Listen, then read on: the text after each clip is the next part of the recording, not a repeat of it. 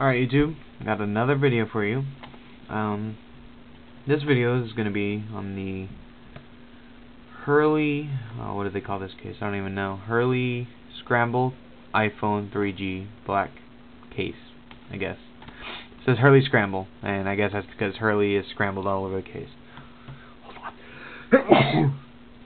oh, that was a weird voice I just made before that. Sorry. Um, so yeah.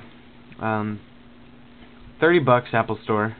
My sister really wanted this case for her first generation iPhone. I know you're saying no actually you don't really know how my sister is unless you watch my other video, but she's I don't know, what is she? This is bad. She is how can I not remember? Oh yeah. She's eleven. But this is a hand me down from my dad who has a 3G iPhone now. And I don't know. I don't kind of embarrassing or I guess yeah that my sister has an iPhone.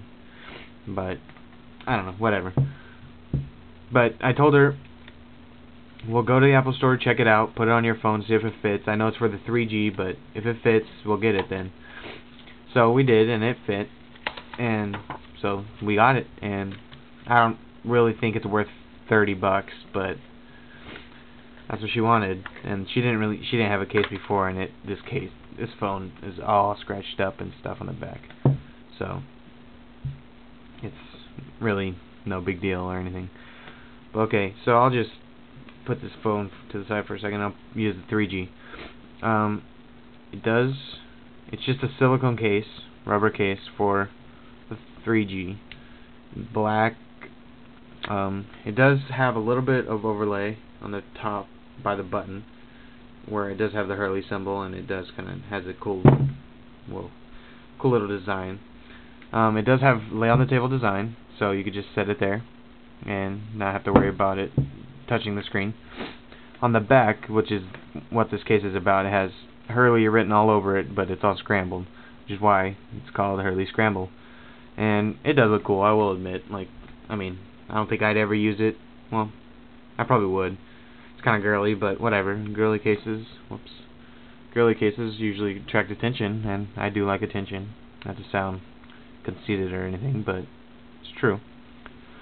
Um, this case to me feels like it was rushed during production or something because I mean there's flash everywhere on this case and I mean look here let's see you probably won't be able to see it but around here around this camera hole there is the camera hole. Okay, listen to me. Around the headphone jack there, it's not even like a hole. It's just kind of like someone took a knife and stabbed through it. It's it's that bad. But and so is the the ringer toggle switch right there. I mean, it's like someone just took a knife, sliced the hole, and spread it apart. That's what it looks like. But the camera hole is, it is, it's like the protective cover, which I do have right here how it's got that little like incline down decline kind of like a good edge. It's it's there's no flash on that or anything. Um, there's flash all the way around the edge from I guess the molding process um, and it's pretty bad too. But my sister really doesn't care so that's really no big deal. And then down here on the bottom which is a big complaint for me is that it the it doesn't uh, what am I trying to say? It doesn't it covers up the home button kinda, which I mean it shouldn't do. I mean it does I don't know, that's just kind of that's another example of rush design to me. It doesn't even cover the phone the correct way. It, it I mean it's it's in the right spot every other place except for here it covers the home button. So I mean that's kind of annoying.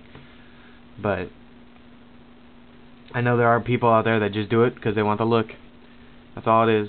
They could care less about the protection of their phone or how much it costs. Doesn't matter. They just want the look.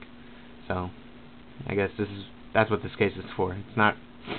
It does have protection though. I mean, if you drop it, it's look at that. It bounces. Yeah. Um. What what else is there to say on this case? Um. I don't think I would buy it again. Not for 30 bucks at least. Maybe if it was 15, 16, then I'll buy it. But not for that. Not for the quality of this case. I don't think it's worth thirty dollars. Um, everything's exposed. I mean, everything you can get to, it's all easy to get to. It's just, like I said, it's like a rush design. It's not. They didn't think through it. So I did say that my sister has a first generation iPhone and that's what she uses it for, so I'll take this out and show you that it does fit on the first generation iPhone. Um, it pretty much looks the same, I think. It just kind of, I don't, I don't know. It does look the same. It fits. The holes seem to be bigger on this, like when you get to the headphone jack and stuff. The holes seem bigger, but other than that, I mean, fits the phone the same. It doesn't cover the screen or anything, and down here the home button same spot. I mean, it's covering the home. So I don't know what's up with that. It all hold on, let me see. I haven't really checked this out. It does kind of kind of cover the speakers and the microphone, but not enough to affect it. Um, everything's still exposed on this this, so yeah, if you have a first generation iPhone, some cases, I'm not saying all cases because I know there's cases that don't work with the first generation, but some cases, usually silicone cases, cheaper cases like this, not talking money cheap, but cheaply made, usually will fit on a on a first gen and a 3G. And you most likely, most likely silicone cases or rubber cases. Um, so yeah, this is just a quick um, little review on what I my opinions on this Hurley Hurley Scramble case for the iPhone 3G, and in my case, also the iPhone first generation. So yeah, that's about all I have to say. Comment, subscribe, all that good stuff, and see you guys in the next video. Bye bye.